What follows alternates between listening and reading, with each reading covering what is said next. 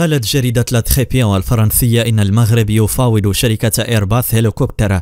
الفرنسية من أجل التزود بثمان مروحيات نقل من نوع آش 225 أم كاراكالا وتعد مروحية آش 225 كاراكال ثقيلة متعددة المهام مقدمة من شركة إيرباث تعمل في كل الأحوال الجوية وظروف القتال شديدة العدائية مزودة بالأسلحة وتحمل المقاتلين ويبلغ طولها 19.5 مترا وسرعتها 324 كم في الساعة والمدى 1300 كم وتستطيع نقل 20 جندي بكامل معداتهم القتالية ويمكنها حمل 4.5 طن من العتاد.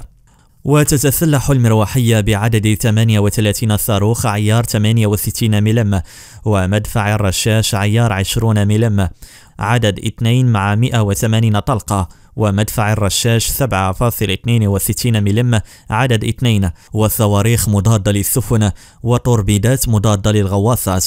وتأتي هذه الصفقة في إطار مواصلة المغرب لتقوية وتحديث الترسانة الحربية لقوته المسلحة الملكية وذلك من خلال عقده للعديد من الصفقات لاقتناء أحدث المنظومات التقنية والقتالية خاصة على مستوى سلاح الجو حيث تم عقد العديد من الصفقات الضخمة مع الشركاء العسكريين للمملكة وفي مقدمتهم الولايات المتحدة الأمريكية التي تعد أول قوة عسكرية على المستوى العالمي.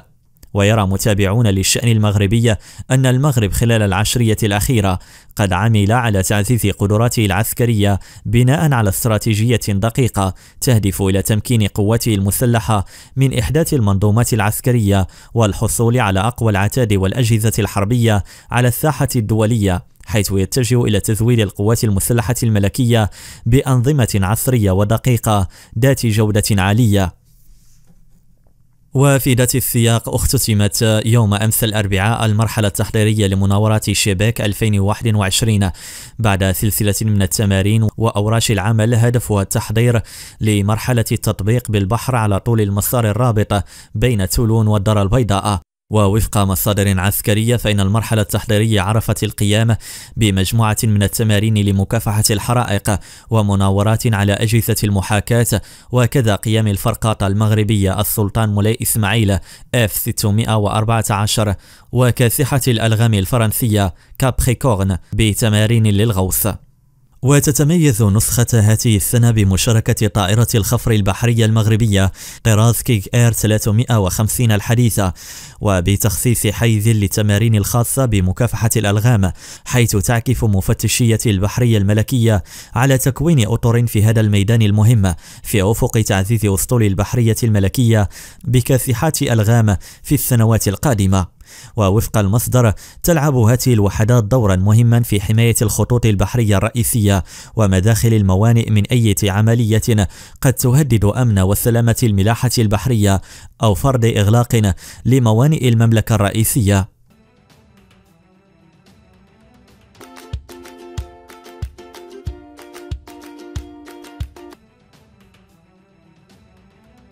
شجب تحالف الليبراليين والديمقراطيين من أجل أوروبا داخل البرلمان الأوروبي. مرة أخرى الميولات العدوانية للجزائر بالمغرب الكبير وعموم المنطقة. وقام نائب رئيس حزب تحالف الليبراليين والديمقراطيين من أجل أوروبا النائب الأوروبي البلغاري إلهان كيوتشيوك. بمساءلة نائب رئيس المفوضية الأوروبية ممثل الاتحاد الأوروبي السامي للشؤون الخارجية والسياسة الأمنية قصد العمل على كبح ميولات الجزائر العدوانية في المغرب الكبير وعموم المنطقة بمفهومها الأوسع. وفي هذا الصدد أوضح النائب الأوروبي أنه عقب اعتماد قرار مجلس الأمن رقم 2602 في التاسع والعشرين أكتوبر 2021 الذي جدد ولاية المينورسو لمدة سنة إضافية وألزم جميع الأطراف بالتوصل إلى حل سياسي واقعي دائم ومقبول من كلا الطرفين لقضية الصحراء المغربية رفضت الجزائر كعادتها وبشكل رسمي هذا القرار وعبرت عن رفضها المشاركة في مسلسل الموائد المستديرة.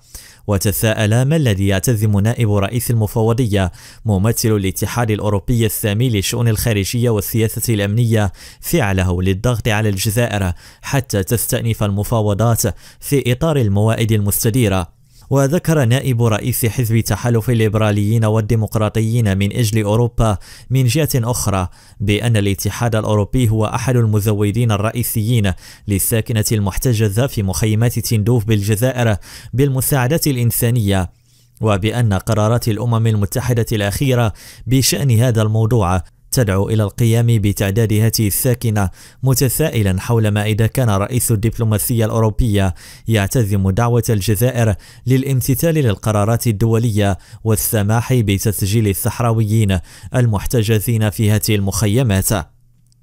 يذكر أنه ليست هذه المرة الأولى التي يسائل فيها نواب أوروبيون ومجموعات مؤثرة داخل البرلمان الأوروبي مسؤولي الاتحاد الأوروبي بشأن وضع حد لوضعية انعدام القانون السائدة في مخيمات تندوف وإجبار الجزائر على التوقف عن إعاقة المسلسل الأممي الهادف إلى التسوية النهائية للخلاف المصطنع حول الصحراء المغربية.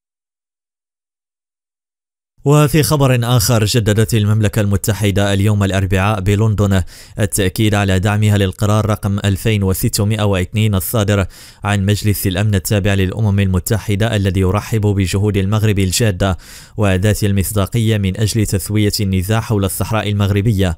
وأكدت المملكة المتحدة والتي تتكون من إنجلترا، ويلز، إسكتلندا وإيرلندا الشمالية في بيان مشترك صدر عقب انعقاد الدورة الثالثة للحوار الاستراتيجي المغرب المملكة المتحدة وذلك بين الوزير البريطاني للشؤون الخارجية ليز تراس ووزير الشؤون الخارجية والتعاون والمغاربة المقيمين بالخارج ناصر بوريطة على دور الأمم المتحدة المحوري في مسلسل تسوية هذا النزاع.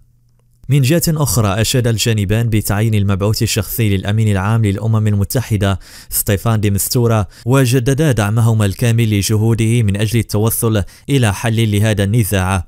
كما رحبت المملكة المتحدة بإسهام المغرب في الجهود الإقليمية والدولية لمحاربة الإرهاب مشيدة بإحداث مكتب برنامج الأمم المتحدة لمكافحة الإرهاب في الرباط. وأعربت وزيرة الشؤون الخارجية البريطانية ليث تراث ووزير الشؤون الخارجية والتعاون الإفريقي ناصر بوريطة عن قلقهما العميق إزاء تفاقم التهديد الإرهابي في إفريقيا خاصة في منطقة الساحل